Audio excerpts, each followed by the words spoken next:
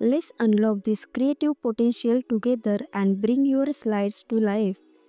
Welcome to today's video, where we will transform simple PNG image into stunning butterfly animation in PowerPoint. Get ready to impress your audience with your animation skill. First, go to Insert, click on Picture and select your butterfly PNG image from your device. Insert it onto the slide. Next, go to the Animation tab and select the Grow and Shrink animation. Click on Effect option. Set the custom size to 40% and select Horizontal. Tick Auto Reverse for a smooth effect. Go to Timing.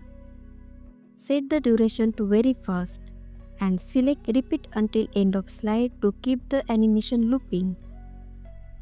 Now click on Add Animation and apply the up motion path from More Motion Path.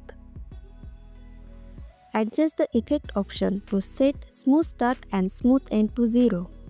Go to Timing, set the animation to with previous and adjust the duration to very slow for a graceful butterfly flight.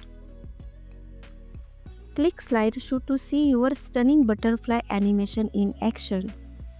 Watch as your butterfly gracefully grow, shrink and flies across the slide.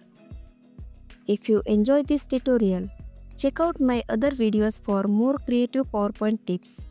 Let me know in the comment what you would like to see next. Don't forget to like, subscribe and hit that bell icon for more amazing PowerPoint hacks. Thanks for watching. I will see you in the next video.